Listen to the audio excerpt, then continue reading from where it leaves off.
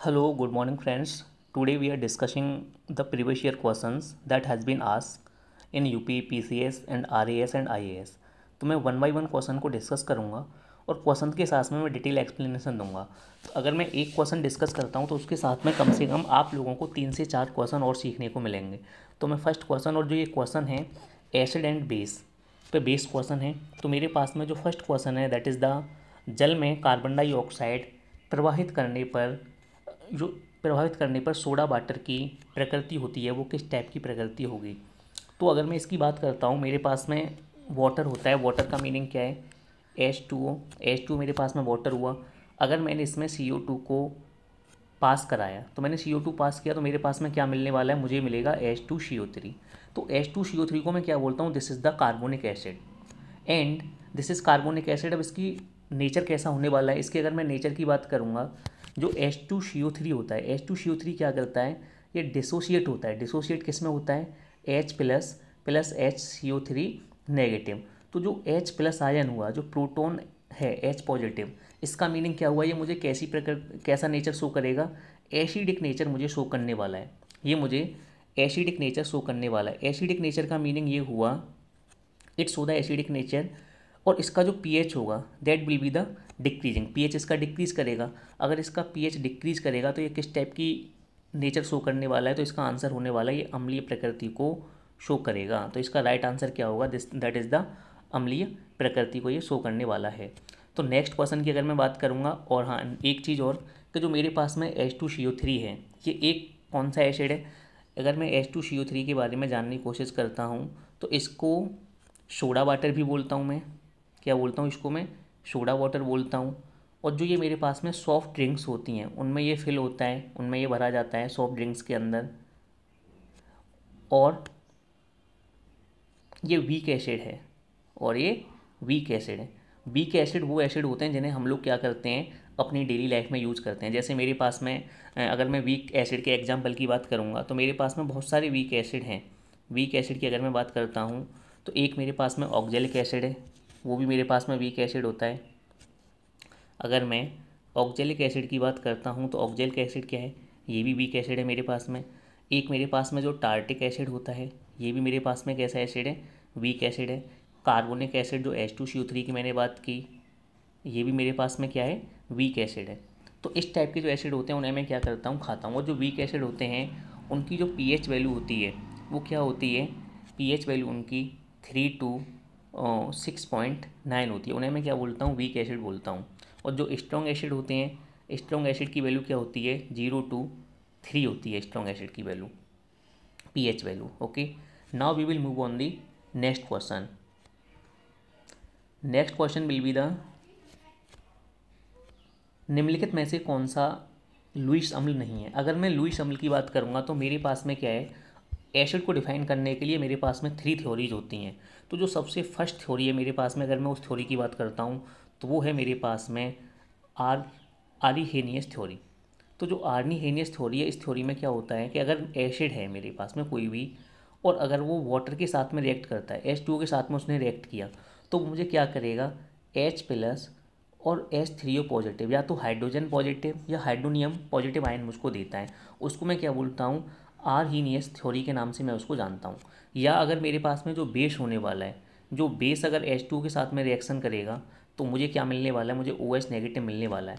तो this is the first theory इसके basis पे भी मैं एसिड को बता सकता हूँ। तो ये फ़र्स्ट थ्योरी है। सेकंड थ्योरी मेरे पास में होती है ब्रॉन्स्टेंट एंड लॉरी थ्योरी अगर मैं सेकंड थ्योरी की बात करूँगा तो सेकंड थ्योरी है मेरे पास में Brønsted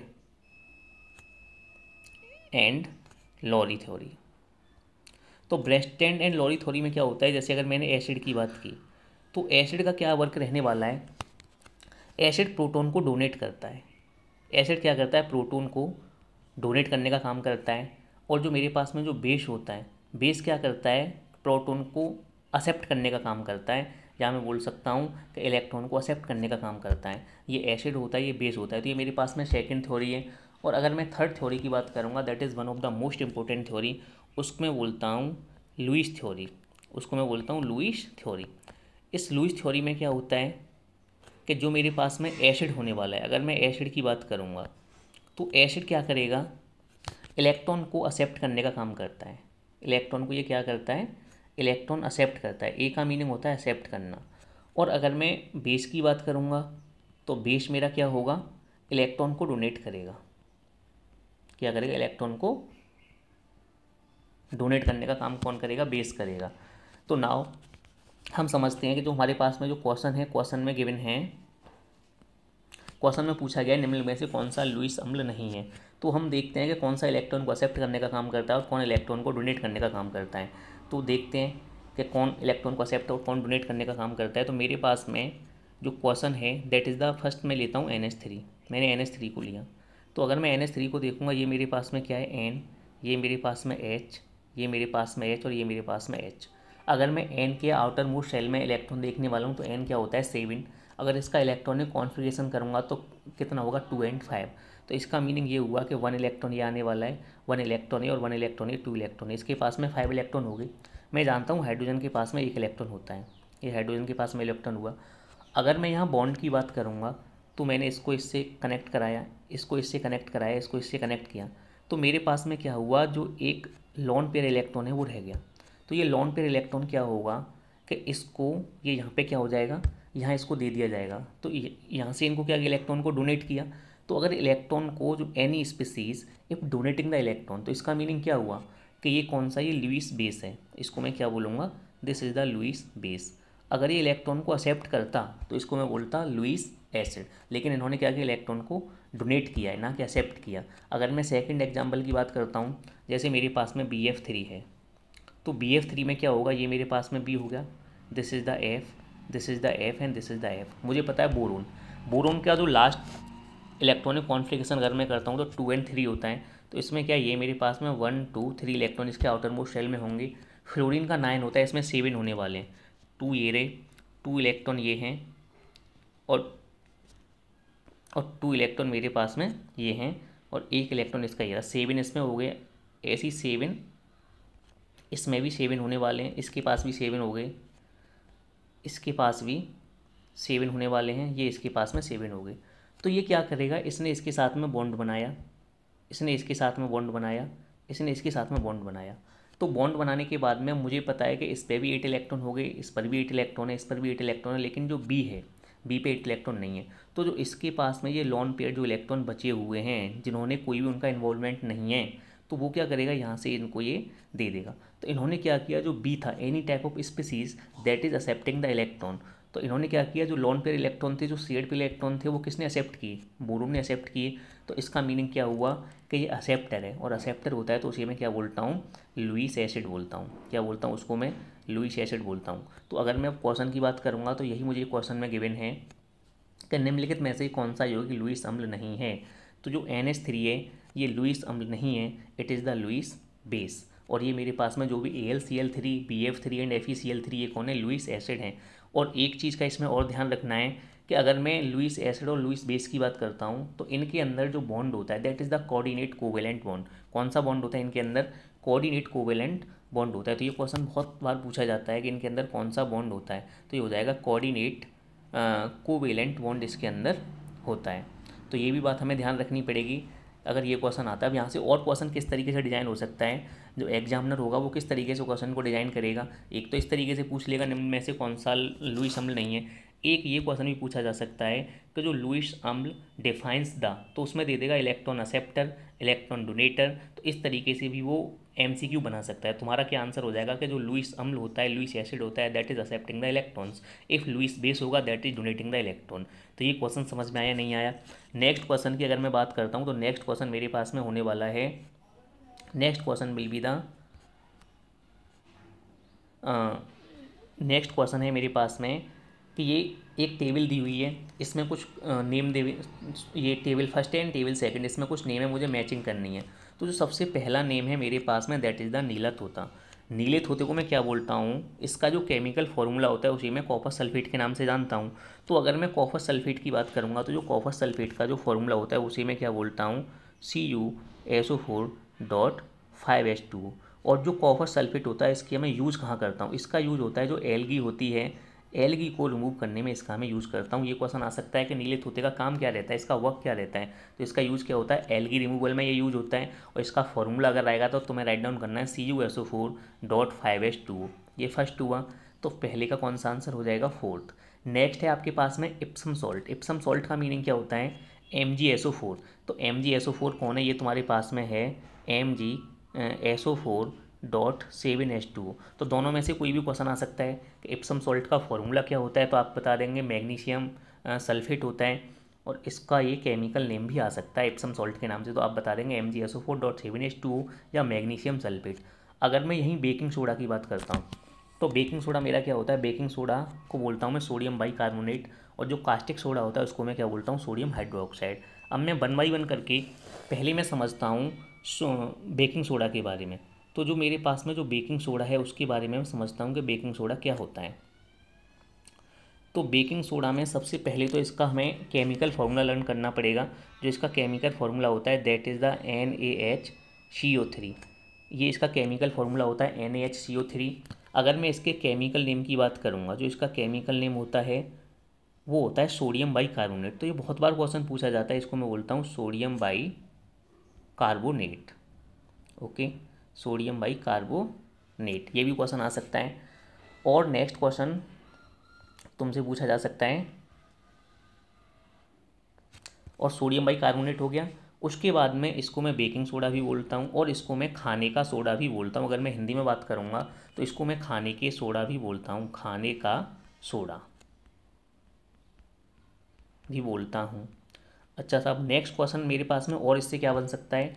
It is use to making the fluffy material fluffy material का मीनिंग क्या होता है? कि जैसे जो फुलाने, जैसे इससे क्या है कि जैसे कोई भी मटेरियल है वो फूल जाता है। तो इसको मैं किसमें यूज़ करता हूँ? फिल्फी बनाने के लिए। जैसे मेरे पास में अगर कोई भी चीज़ है तो जो फिल्फी बनाने के लिए मैं इसको यूज़ करता हूँ बेकिंग सोडा को। और ये किसमें यूज़ होता है? जो मेरे पास में फायर एक्सटिंग्विशर होती हैं। फायर एक्सटिंग्विशर में इसका यूज़ होता है। फायर एक्सटिंग्विशर में मैं इसका यूज़ करता हूँ। अब उसमें यूज़ कैसे होता है? जैसे मेरे पास में ये एक सिलेंड्रिकल है तो यहाँ क्या है कि यहाँ मेरे पास में H two S O four का एक बोतल है और यहाँ मेरे पास में क्या होता है? N H C O three होता है। जब ये रिएक्ट करती हैं तो रिएक्ट करने पर मुझे क्या है कि C O two gas release होती है। अब जब C O two gas release होती है तो ये क्या करती हैं? जो फायर होती है, उसको रोकने का काम करती है, उसको बुझाने का काम करती है। तो ये फायर एक्सटिंग्विशर में यूज़ होता है और इसका यूज़ कहाँ होता है कि जो मेरे पेंट के दाग होते हैं, जो पेंट के दाग लग जाते हैं जो धब्बे होते हैं, उनको ये हटाने में यूज़ होता है। मतलब पेंट रिमूवर जो भी तुम्हारे पास में जो दाग होते हैं, उनको हटाने में इसका यूज़ करते हैं। और अगर कहीं भी तुम्हारे रस्ट के दाग लग जाते हैं, जो रस्ट होता है, जो जंग होता है, उससे अगर तुम्हारे पास में कहीं भी दाग लग जाते हैं, कहीं भी गंदगी फैल जाती है तो उसको यूज़ करने के लिए मैं किसका यूज़ करता हूँ? जो मेरे पास में ऑक्जिलिक एसिड होता है, मैं ऑक्जेलिक एसिड का यूज़ करता हूँ। और इसका यूज़ कहाँ होता है? अगर मैं और इसके यूज़ की बात करूँगा it is use to make the fermentation process जो फर्मेंटेशन प्रोसेस होता है इसमें मैं इसको यूज़ करता हूँ। फर्मेंटेशन प्रोसेस का मीनिंग क्या है? कि जब हम कभी भी केक बनाते हैं फर्मेंटेशन प्रोसेस तो जो फर्मेंटेशन प्रोसेस है, उसमें क्या होता है कि जैसे हमने केक बनाया तो केक को ये क्या करता है? एक लंबी टाइम तक रखने के लिए, उसको सुरक्षित रखने के लिए, इसको मैं हिंदी में बोलता हूँ किड वन क्या बोलता हूँ? किड वन में यूज़ होता है ये। तो ये मेरे पास में मैंने एन एस यू थ्री के बारे में जाना कि ये कहाँ का यूज़ होता है। पहला क्या है? फायर एक्सटिंग्विशर में यूज़ होता है। इसको सोडियम बाई कार्बोनेट के नाम से जाना जाता है। ये बेकिंग सोडा होता है। इसे खाने का सोडा बोलते हैं। फिल्पी मटेरियल बनाने में यूज़ होता है। जो पेंट के दाग धब्बे होते हैं, उनको हटाने के लिए इसको मैं यूज़ करता हूँ। तो ये मेरे पास में क्या हुआ? सोडियम बाई कार्बोनेट अगर मैं नेक्स्ट की बात करता हूँ तो नेक्स्ट मैंने अभी बताया था कि मैं एन ए ओ एच के बारे में और डिस्कस करूँगा। तो इससे क्या है? एक तो ये बात समझ में आती है जो एन एच है, इसको मैं क्या बोलता हूँ? इसको मैं सोडियम हाइड्रोक्साइड बोलता हूँ। क्या बोलता हूँ इसको मैं? एन ओ एच को। इसको मैं सोडियम हाइड्रोक्साइड बोलता हूँ। पहला तो ये बात आपको समझनी है कि इसको मैं सोडियम हाइड्रोक्साइड बोलता हूँ फ़र्स्ट थिंग। सेकेंड थिंग क्या है कि ये मेरे पास में स्ट्रॉन्ग बेस होता है। इसको मैं क्या बोलता हूँ? ये मेरे पास में स्ट्रॉन्ग बेस होता है और इसकी जो स्ट्रॉन्ग बेस होता है, उसकी जो पी वैल्यू होती है वो नियरर फोर्टीन के इक्वल होती है, ये भी बात आप जानते होंगे। One of the important thing इसको क्या करता हूँ मैं? सोप बनाने में। जो सोप होता है, जो साबुन होता है तो कैसा सोप बनाने में? हार्ड सोप बनाने में मैं यूज़ करता हूँ। जो कठोर साबुन होता है, उसको बनाने में एन ओ एच का यूज़ करता हूँ। तो ये मेरे पास में इतनी, ये मेरे पास में इसका एन ओ एच के बारे में मैंने समझा। अब हम मूव करते हैं जो मेरे पास में क्वेश्चन था। तो अगर मैं क्वेश्चन की बात करूँगा तो क्वेश्चन क्या था? मेरे समझ में आ गया, जो नीलत होता है, उसका आंसर है फोर और जो इप्सम सोल्ट है, उसका आंसर है थ्री और बेकिंग सोडा का आंसर है फोर थ्री वन तो फोर थ्री वन कौन से में? डी में। तो इसका जो राइट आंसर होगा that is the D four three one and baking soda caustic soda means sodium hydroxide तो ये हो जाएगा four three one to D will be the correct answer now we will move on the next question next question will be the आयोडीकृत लवड़ में रहता है। ये मेरे पास में नेक्स्ट क्वेश्चन है कि जो आयोडीकृत लवड़ होता है, उसमें क्या चीज़ रहती है? तो जो आयोडीकृत लवड़ का मीनिंग होता है, उसमें जैसे क्या क्या चीज़ होती है? एक तो मेरे पास में पोटेशियम आयोडाइड के आई होता है, एक मेरे पास में सोडियम आयोडाइड होता है एन टू आई तो ये सब चीज़ें इसके अंदर आयोडीकृत लवड़ में रहती हैं। तो इसका जो राइट आंसर हो जाएगा that is the potassium iodide will be the right answer अगर मैं नेक्स्ट क्वेश्चन की बात करता हूँ तो नेक्स्ट क्वेश्चन मेरे पास में होने वाला है कॉपर सल्फेट का जलीय घोल अम्लीय होता है क्योंकि इस लवड़ का। तो ये क्वेश्चन मुझे बताना है कि इसका अगर जलीय घोल अम्लीय होता है तो वो क्यों होता है? तो ये मुझे इसका आंसर बताना है कि ये किस किस तरीके से इसका जलीय घोल अम्लीय होता है। तो अब देखो, अगर मैं इसकी बात करता हूँ तो मेरे पास में कॉपर सल्फेट है। कॉपर सल्फेट मैं जानता हूँ मेरे पास में क्या होता है। C U S O four होता है। अगर मैंने C U S O four को एच टू ओ के साथ में रिएक्ट कराया तो जब मैंने एच टू के साथ में रिएक्ट कराया तो मुझे क्या मिलने वाला है? एक तो मुझे सी यू ओ एच का होल ट्वाइस मिल जाएगा। सी यू ओ एच का होल ट्वाइस मिल जाएगा इसी में कॉपर हाइड्रोक्साइड बोलूँगा। प्लस मुझे क्या मिलने वाला है? मुझे मिलने वाला है H two S O four मिलने वाला है। H two S O four जो H two S O four है, ये क्या है? एसिड है। तो इसकी वजह से जब मैंने इसका जल अपघटन कराया, जल अपघटन का मीनिंग क्या है कि we are reacting with the water जब मैंने वाटर के साथ में रिएक्ट कराया तो मुझे क्या मिला? H two S O four मिला। H two S O four की वजह से जो इसका जलीय घोल है वो कैसा हो जाएगा? जलीय घोल इसका अम्लीय हो जाएगा। तो जो इसका राइट आंसर है राइट आंसर इसका क्या होने वाला है? जब मैं इसका जल अपगठन करूँगा तो उस पर मुझे इसका जो घोल मिलने वाला है वो कैसा हो जाएगा? अम्लीय हो जाएगा। तो इसका राइट आंसर हो जाएगा जल अपगठन। We will move on the next question next question है, रासायनिक उद्योग में कौन सा तेजाब मूल रासायनिक माना जाता है?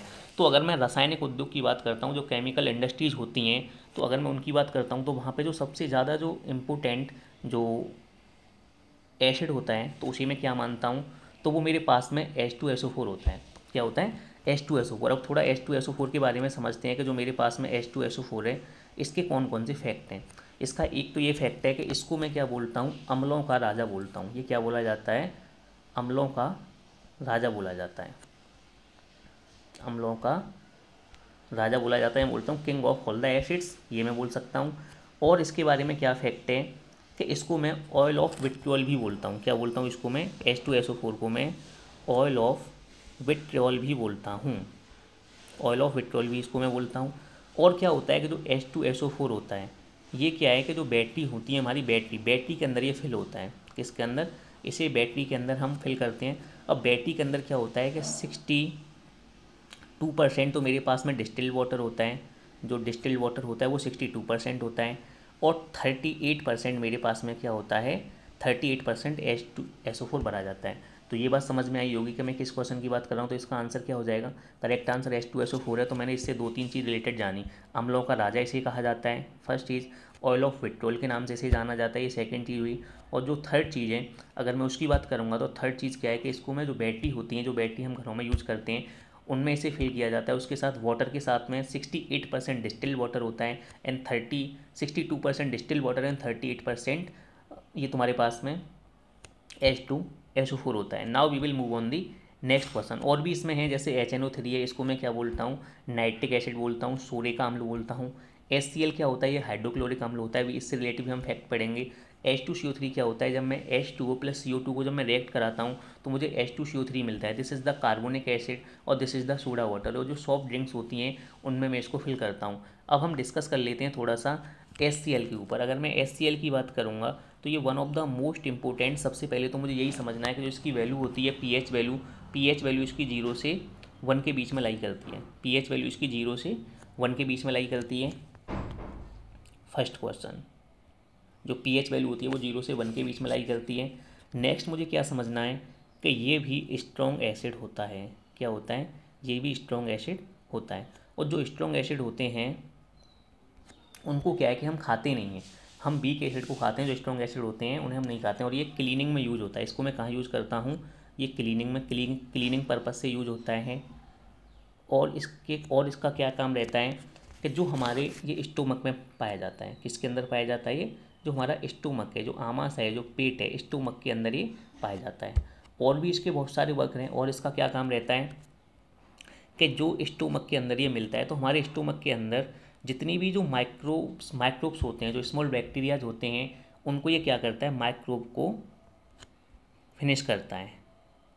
जो माइक्रोब्स होते हैं, माइक्रोब्स को ये क्या करता है? फिनिश करने का काम करता है। और हमारे स्टोमक में एक रेनिन और जो पेप्सिन हार्मोन होते हैं, उनको एक्टिवेट करने का काम करता है। पेप्सिन और जो रेनिन हार्मोन होते हैं, उनको एक्टिवेट करने का काम कौन करता है? उनको एक्टिवेट करने का काम एस करता है। तो ये सब एस से रिलेटेड मेरे पास में बातें हैं। और भी हम एस से रिलेटेड चीज़ें पढ़ते रहेंगे आगे। नेक्स्ट क्वेश्चन मेरे पास में आने वाला है। इसका समझ में आ गया।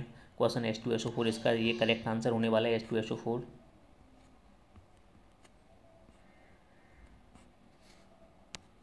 S two S O four will be the correct answer now we will move on the next question we have निम्न में से कौन से एक अम्लीय विलयन का संभव पीएच मान है? अगर मैं पीएच की बात करता हूँ तो पीएच का मतलब होता है मेरे पास में एक पीएच एक स्केल था। क्या था? पीएच स्केल था। इससे मुझे ये पता लगता है कि अगर मेरे पास में कोई भी कंपाउंड है तो दैट इज़ द एसिडिक और that is the basic nature उसका जो नेचर है, वो एसिड नेचर का है या बेसिक नेचर का है। तो जो पी एच स्केल है, उसको मैं समझाता हूँ कि पी एच स्केल होता क्या है। ये मेरे पास में एक पी एच स्केल है। तो इसको सबसे पहले तो ये समझो कि ये दिया किसने था? तो एक साइंटिस्ट थे सोरेंसन नाम के एक साइंटिस्ट थे। सोरेंसन नाम के साइंटिस्ट ने इस पी एच स्केल को दिया था। और इस पी एच स्केल पे क्या है कि मेरे पास में इस तरीके से एक लाइन होती है, यहाँ सेवन होगा और यहाँ तुम्हारे पास में फोर्टीन होता है, ये ज़ीरो होता है। तो अगर मेरा पी एच है, वो अगर लेस देन सेवन है और यहाँ अगर ग्रेटर देन सेवन है तो इसका मीनिंग ये हुआ कि ये मेरे पास में कौन सा नेचर है? This is the acidic nature और अगर ग्रेटर देन सेवन हुआ तो ये मेरे पास में क्या है? This is the basic nature और अगर मेरे पास में ओनली सेवन होता है तो इसे मैं क्या बोलता हूँ? दिस इज़ द न्यूट्रल इसको मैं बोलता हूँ उदासीन है ये। अब जो सोरेंसन थे तो इन्होंने जब इस स्केल को दिया था तो ये ये जब टाइम था नाइनटीन ये एन e में दिया हुआ है और ये नाइनटीन लेकिन जब ये क्वेश्चन पेपर में पूछा जाता है तो कभी कभी दोनों ईयर दे दी जाती हैं, nineteen zero nine and nineteen thirteen. तो जो हम, जो पेपर करेक्ट आंसर को मानता है, वो किसको मानता है? नाइनटीन थर्टीन को वो करेक्ट मानता है। लेकिन अगर मैं एन e के बेसिस पे देखूँगा तो एन e में नाइनटीन ज़ीरो नाइन दिया हुआ है। तो ये पी स्किल से रिलेटेड है। अगर मेरी P H value less than seven होती है तो उसे मैं एसिडिक नेचर का बोलूँगा अगर पी एच वैल्यू मेरी ग्रेटर देन सेवन होती है that is the basic nature और अगर पी एच मेरा ओनली सेवन होता है तो उसे मैं क्या बोलूँगा न्यूट्रल बोलने वाला हूँ। तो ये बात समझ में आई पी एच इसके से रिलेटेड अब क्या है कि क्वेश्चन जो मुझे पूछा है क्वेश्चन में क्या पूछा है? कि निम्न में से कौन सा एक अम्लीय विलयन का संभव पीएच है? अम्लीय विलयन का मीनिंग है एसिडिक सॉल्यूशन अगर मेरे पास में एसिडिक सॉल्यूशन होने वाला है तो एसिडिक सॉल्यूशन का मीनिंग क्या है? PH is less than equal to seven अगर P H less than equal to seven होगा तो आंसर क्या हो जाएगा इसका? Six will be the correct answer now we will move on the next question next question मेरे पास में है कि निम्न में से किसका पीएच मान सेवन है? तो देखो पीएच मान सेवन किसका होता है? जो मेरे पास में शुद्ध पानी होता है, डिस्टिल्ड वाटर होता है, उसकी उसका जो पीएच होता है वो सेवन होता है। न्यूट्रल बिलियन होता है, उसका पीएच सेवन होता है। तो इसका जो आंसर होने वाला है, उपयुक्त में से कोई नहीं, उपयुक्त में से एक से अधिक। तो इसका जो राइट आंसर है that is the E will be the right answer we will move on the next question pH एक मूल्यांक दर्शाता है। तो मैंने अभी बताता है कि what P H show P H हमें क्या शो करता है? तो ये मैंने बता दिया कि इट्स शो द एसिडिक और basic nature of a solution अगर मेरे पास में कोई भी सॉल्यूशन है तो उसका एसिडिक और बेसिक नेचर को ये शो करने वाला है। तो कौन सा इसका राइट आंसर हो जाएगा? The right answer will be the B will be the right answer now we will move on the next question next question मेरे पास में कि जो गोल्ड स्मिथ होते हैं स्वर्णकारों द्वारा प्रयोग में आने वाला एक्वारेरिया निम्नलिखित को मिलाकर बनाया जाता है। अब मैं एक्वारेरिया सॉल्यूशन की बात करता हूँ। तो एक्वारेरिया सॉल्यूशन क्या होता है मेरे पास में? जो एक्वा रेजिया सॉल्यूशन इसको मैं एक्वा एरिया को मैं रॉयल वाटर के नाम से भी जानता हूँ। क्या किसके नाम से जानता हूँ? रॉयल वाटर के नाम से भी जानता हूँ। ये रॉयल वाटर के नाम से भी आ सकता है। इसमें क्या होता है कि जो थ्री पार्ट होते हैं, वो SCL का होता है प्लस एच होता है। उसको मैं क्या बोलता हूँ? एक्वा रेजिया बोलता हूँ। और इसकी एक कंडीशन और है, ये क्या करता है? It dissolve the noble noble जो मेटल होती हैं, उनको ये अपने अंदर क्या कर लेता है? डिजोल्व कर लेता है। तो it dissolve it dissolve the noble metal noble metals कौन कौन सी होती हैं? जैसे अगर मैं नोबल मेटल्स की बात करूँगा, मेरे पास में ए यू हो गया ए जी हो गया, और ये मेरे पास में प्लेटिनम हो गया तो इनको ये क्या कर लेता है? डिजोल्व कर लेता है। तो इसका जो राइट आंसर होने वाला है, इसका राइट आंसर क्या हो जाएगा?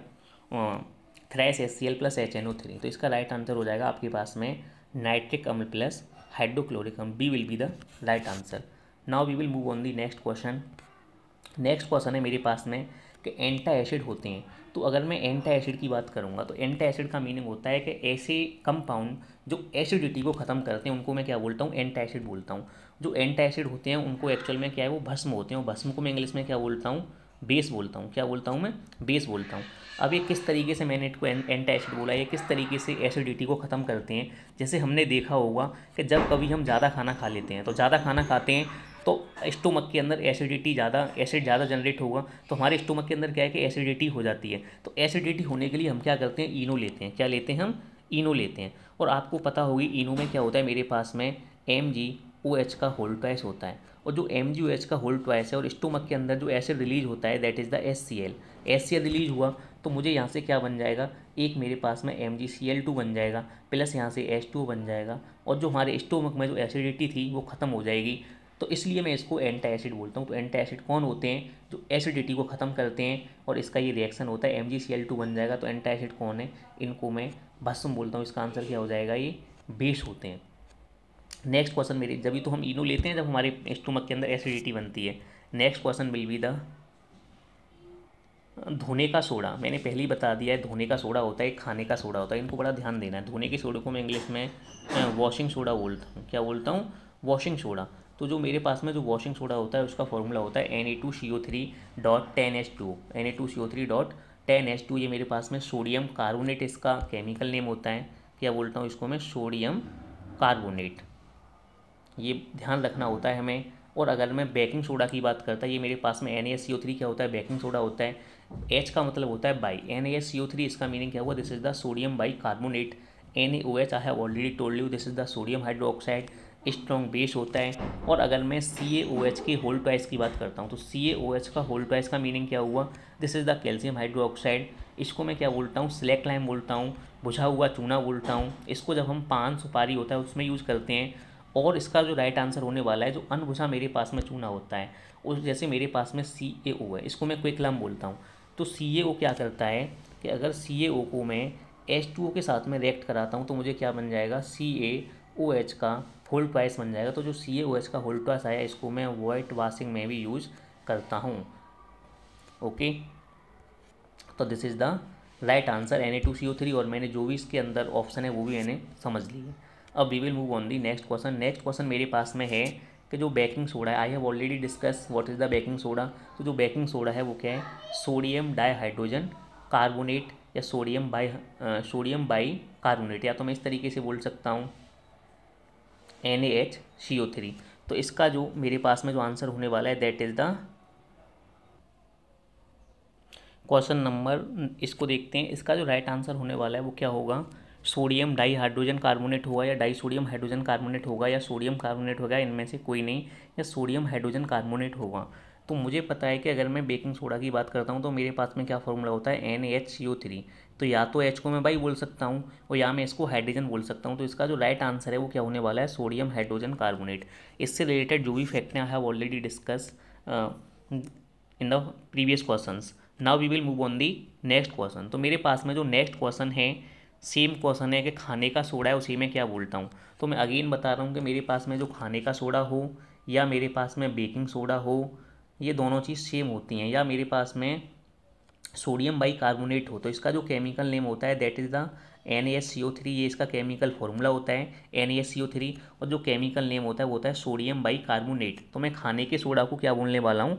Sodium bi carbonate will be the right answer next question will be the this is question already discuss you know Neela थोता means copper sulphate it means A का four हो जाएगा, एप्सम सोल्ट होता है, magnesium sulphate, इसका हो जाएगा तुम्हारे पास में three baking soda sodium bicarbonate and caustic soda sodium hydroxide तो answer will be the four three one two D will be the right answer next question this is the same question then D will be the right answer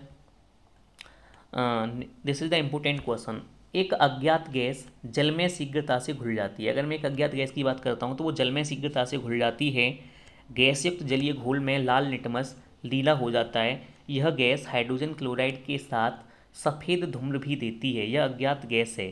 तो ऐसी जो gas है, उसको मैं क्या बोलता हूँ? दिस इज़ द अमोनिया इसका राइट आंसर क्या होने वाला है? अमोनिया होने वाला है। अब इससे एक रिलेटेड फैक्ट है लिटमस पेपर तो जो लिटमस है, उसके बारे में थोड़ा समझते हैं कि उसका क्या वर्क रहता है, किस तरीके से वो काम करता है। तो अगर मैं लिटमस पेपर की बात करता हूँ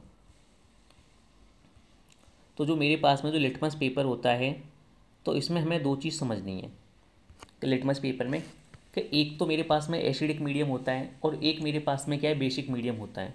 तो जो लिटमस पेपर है, उसमें क्या अगर एसिडिक मीडियम है तो उसके लिए तुम ये चीज़ ध्यान रखो बी ए आर अगर एसिडिक मीडियम है तो बी ए आर का मीनिंग क्या हुआ कि अगर आपके पास में ब्लू लिटमस पेपर है, कैसा पेपर है? ब्लू लिटमस पेपर बी का मीनिंग हुआ ब्लू लिटमस पेपर ठीक है ना? ब्लू लिटमस है। ए का मीनिंग हो जाएगा एसिडिक मीडियम है। कैसा मीडियम है? एसिडिक मीडियम है तो उसका जो कलर है वो कैसा हो जाएगा? वो रेड कलर में चेंज हो जाएगा। तो ये तो होता है किसके लिए? एसिडिक मीडियम के लिए। और अगर मेरे पास में यहीं आर रेड लिटमस पेपर होता रेड लिटमस पेपर तो अगर और मेरे पास में मीडियम होता बेसिक तो मैंने क्या लर्न कर रखा है? आर बी बी तो इसका मीनिंग हुआ रेड लिटमस पेपर है मेरे पास में बी मेरे पास में क्या है? बेसिक मीडियम है तो वो किसमें कन्वर्ट हो जाएगा? वो blue litmus paper blue colour में कन्वर्ट हो जाएगा। तो इस चीज़ को समझने के लिए तुम B A R and R B B ये चीज़ तुम्हें ध्यान रखनी है। कोई भी क्वेश्चन आता है कन्फ्यूज़न क्रिएट करता है कि इसका आंसर नील ब्लू में कन्वर्ट होगा या रेड में कन्वर्ट होगा तो अगर आप you are learning this thing कि B A R and R B B then you will not be the confuse in this question and you will solve correct question now and next we are going to understand litmus paper तो जो litmus paper होता है ना, उसका जो colour होता है, ये एक्चुअल में क्या है कि एट से नाइन कलर में आता है। एट से नाइन कलर में एग्जिस्ट करता है। लेकिन जो इसका नेचुरल कलर होता है, वो इसका किस कलर होता है, वो कैसा कलर होता है? नेचुरल कलर इसका, जो इसका नेचुरल कलर है, वो होता है पर्पल कलर। कौन सा कलर होता है? पर्पल कलर होता है। अब ये कि ये बनता किससे है? तो जो लिटमस पेपर होता है, ये किससे बनता है? एक लाइकेन से बनता है। किससे बनता है ये? लाइकेन से बनता है। अब लाइकेन क्या होता है? जो लाइकेन है, ये क्या है कि एक तरीके से एक प्लांट होता है। ये किसके अंदर आता है? जो थैला, थैलोफाइटा के अंदर आता है लाइकेन प्लांट अब अगर मैं लाइकेन की बात करूँगा तो इसमें क्या होता है? मेरे पास में एलगी होती है एलगी और फंजाई ये दोनों चीज़ मेरे पास में होती हैं। तो जो एलगी होता है, उसके अंदर तो क्लोरोफिल पाया जाता है और जो फंजाई होता है, वो अपना खाना नहीं बनाते हैं। लेकिन फंजाई की क्या है? जो वाटर कैपेसिटी होती है वाटर होल्डिंग कैपेसिटी मोर होती है और इनके पास में क्या है? जो एलगी होते हैं, वो अपना खाना खुद बनाते हैं। तो ये क्या करता है? यहाँ से ये वाटर ले लेता है एलगी तो अपना खाना बन जाता है। तो इन दोनों में जो रिलेशनशिप होती है that between the symbiotic relationship ये शो करते हैं। तो ये लिटमस पेपर से रिलेटेड इसमें चीज़ें और भी मेरे पास में कुछ नेचुरल इंडिकेटर होते हैं। अगर मैं नेचुरल इंडिकेटर की बात करूँगा तो सबसे पहले मेरे पास में है मैथिल ऑरेंज सबसे पहले मेरे पास में कौन सा है? मैथिल ऑरेंज है। और अगर मेरे पास में लिटमस पेपर है, और अगर एसिडिक मीडियम है तो जो मैथिल ऑरेंज होगा, और अगर मेरे मेरे पास में एसिडिक मीडियम है और एक मेरे पास में बेसिक मीडियम है। तो अगर मैं एसिड मीडियम में बात करूँगा, अगर मेरे पास में आर्टिफिशियल इंडिकेटर मेथिल ऑरेंज है तो लिटमस पेपर है तो एसिडिक मीडियम में तो उसका कलर कैसा हो जाएगा? रेड हो जाएगा। और अगर मैं बेसिक मीडियम में बात करूँगा तो उसका कलर कैसा हो जाएगा? येलो हो जाएगा। अगर मेरे पास में आर्टिफिशियल इंडिकेटर है नेक्स्ट मेरे पास में होता है फिनोफ्थलीन अगर मैं फिनोफ्थलीन की बात करूँगा तो फिनोफ्थलाइन में क्या होता है? फिनोफ्थलाइन फिनोफ्थलीन में क्या होता है कि यहाँ एसिडिक मीडियम में कोई भी चेंज नहीं होता तो यहाँ नो चेंज रहेगा। और अगर मैं बेसिक में बात करूँगा तो बेसिक में ये क्या हो जाता है? पिंग हो जाता है।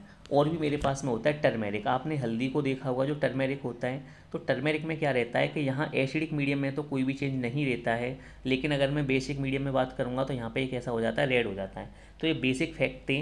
जो इससे समझने थे, ये भी क्वेश्चन यहाँ से बनता रहता है हमारे एसिड एसिडिक मीडियम में और बेसिक मीडियम में नेचुरल इंडिकेटर से जितना लिटमस पेपर से रिलेटेड था each and everything I have been discuss next question we have the washing soda तो मैं वॉशिंग सोडा पहले ही बता चुका हूँ वॉशिंग सोडा का दूसरा नाम क्या होता है? धावन सोडा धावन सोडा को मैं क्या बोलता हूँ?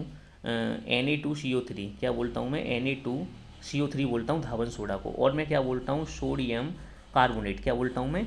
सोडियम कार्बोनेट तो ए का आंसर क्या होने वाला है? Four caustic soda I have already discuss इसको मैं क्या बोलता हूँ? एन बोलता हूँ।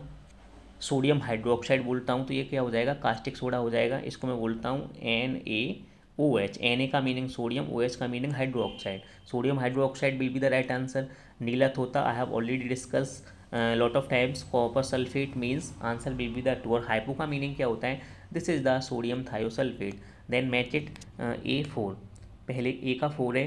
एंड बी का वन है, फोर वन इसी में है तो इसका करेक्ट आंसर क्या हो जाएगा? B we will move on the next question next question I have already discuss answer will be the C नीला थोता क्या है? This is the same question copper sulphate नीला थोता क्या है? This is also the same question copper sulphate will be the right answer oxygen अनुपस्थित होती है. This is one of the important question कि ऑक्सीजन किसमें अनुपस्थित होती है?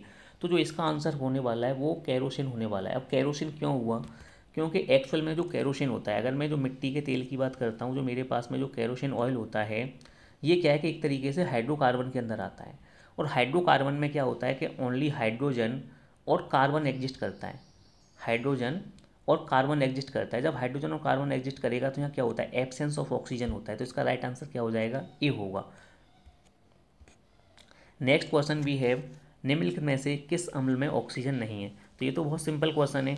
अगर मैं नाइट्रिक अम्ल की बात करता हूँ तो इसका क्या फॉर्मूला होता है? एच एन ओ थ्री तो यहाँ पे ऑक्सीजन मुझे पेडेंट है। अगर मैं सल्फ्यूरिक एसिड की बात करता हूँ तो इसका फॉर्मूला क्या होता है? H two S O four यहाँ भी ऑक्सीजन प्रेजेंट है। अगर मैं एस सी एल की बात करता हूँ तो एस सी एल में कहीं भी मुझे ऑक्सीजन नज़र नहीं आ रही है। तो इसका जो राइट आंसर है राइट आंसर इसका क्या होगा? C will be the right answer now we will move on the next question जल में कार्बन डाइऑक्साइड प्रभावित करने पर जो सोडा वाटर होता है, उसकी क्या प्रकृति होती है? I have discuss first question this is the same question अम्लीय प्रकृति का हो जाएगा, ये भी बता चुका हूँ कि इसकी अम्लीय प्रकृति क्यों होती है? Next question will be the जब इनो लवड को जल में डाला जाता है तो जो बुलबुले बनते हैं, उसका क्या कारण होता है? इनो में पता है एम का होल्टवाइस होता है और जब उसको वाटर के साथ डालते हैं तो जो गैस में हमें बुलबुले दिखाई देते हैं तो वो कुछ गैस के बुलबुले होते हैं? वो सी गैस के बुलबुले होते हैं। तो ये क्वेश्चन इंपॉर्टेंट है, ये तुम्हें लर्न रखना चाहिए। नेक्स्ट क्वेश्चन है मेरे पास में ब्लीचिंग पाउडर में कौन सा रासायनिक यौगिक होता है? तो अगर मैं ब्लीचिंग पाउडर की बात करता हूँ तो ब्लीचिंग पाउडर का मीनिंग क्या होता है? या तो मैं इसे कैल्शियम हाइपोक्लोराइड बोलता हूँ, या मैं इसको कैल्शियम ऑक्सीक्लोराइड बोलता हूँ।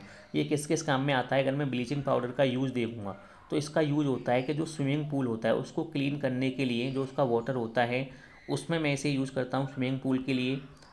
और मैं इसको किसके लिए? ब्लीचिंग के लिए यूज़ करता हूँ। जो हेयर होता है हेयर की ब्लीच करने के लिए कॉटन की ब्लीच करने के लिए मैं ब्लीचिंग पाउडर का यूज़ करता हूँ। और जो इसका केमिकल फार्मूला होता है, वो होता है सी A O C L to इसको मैं बोलता हूँ कैल्शियम ऑक्सीक्लोराइड बोल सकता हूँ और कैल्शियम हाइपोक्लोराइड में बोल सकता हूँ। This is the B will be the right answer next question we have calcium powder में, ब्लीचिंग पाउडर में कौन सा रासायनिक यौगिक होता है? Same question, calcium oxy hypochloride निम्नलिखित में से कौन सा एक कथन सही नहीं है? तो इनमें से हमें देखना है कौन सा कथन सही नहीं है। एन की मौजूदगी में पेरिस प्लास्टर के स्थापन दर में वृद्धि होती है। सही है ये बात। जिप्सम, सीमेंट में जिप्सम का योग उसके स्थापन दर को, उसकी जो रेट ऑफ़ रिएक्शंस होती है, उसको डिक्रीज़ करने के लिए किया जाता है। ये भी बात बिल्कुल सही है।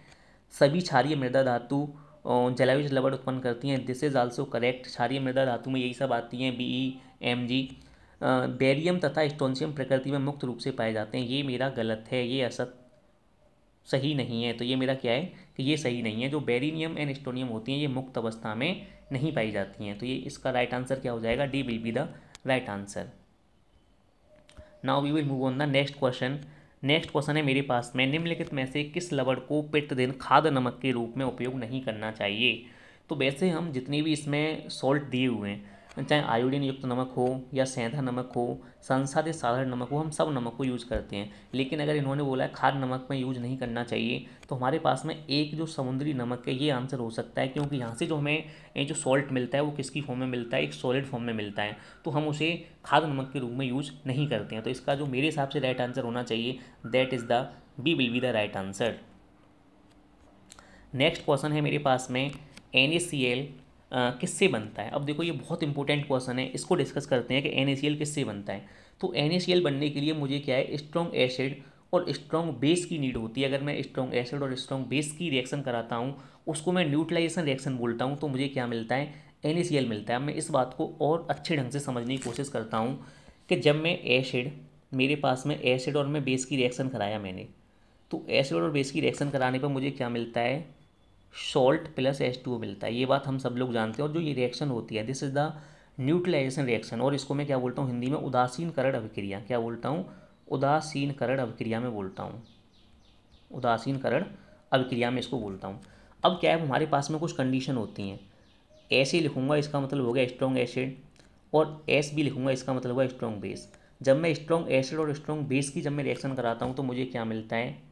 एन मिलता है और जो उसकी पी वैल्यू होती है, वो मेरे पास में क्या होती है? सेवन होती है। क्या होती है? पी वैल्यू सेवन अगर मेरे पास में स्ट्रॉन्ग एसिड हुआ और मेरे पास में वीक बेस हुआ तो मुझे मिलेगा तो सॉल्ट मुझे मिलेगा सॉल्ट लेकिन जो उसकी जो पी वैल्यू है that is the less than seven और अगर मैं स्ट्रॉन्ग बेस और अगर मेरे पास में स्ट्रॉन्ग बेस होगा और अगर मेरे पास में वीक एसिड होगा, जब मैं इसकी रिएक्शन कराऊँगा तो फिर भी मुझे सॉल्ट ही मिलेगा। लेकिन जो पीएच होने वाला है P H that is greater than seven और अगर मैं एक मेरे पास में डब्ल्यू बी का मतलब है वीक बेस और डब्ल्यू ए का मतलब है वीक एसिड जब मैं इसकी रिएक्शन कराता हूँ तो इसकी रिएक्शन नहीं होती है तो इसका क्या आंसर हो जाएगा? नो रिएक्शन तो मेरा answer which one be the correct option इसका आंसर होने वाला है बी मज़बूत अम्ल और मज़बूत सार से स्ट्रॉन्ग एसिड और जब मैं स्ट्रॉन्ग बेस की रिएक्शन कराता हूँ तो मुझे एन मिलता है और उस एन की जो वैल्यू होती है, जो पीएच वैल्यू होती है that is equal to seven तो I have discuss where the value less than seven where the value greater than seven and why it is reaction happening और in strong acid and strong base I have already discuss strong acid में कौन कौन आता है?